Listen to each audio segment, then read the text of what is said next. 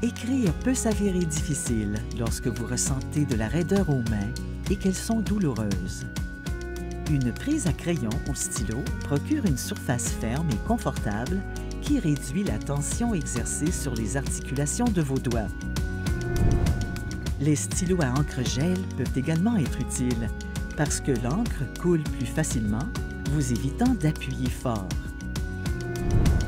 Si vous avez des difficultés à taper, un logiciel de conversion de la parole en texte ou de reconnaissance vocale peut transformer les mots prononcés en texte dactylographié.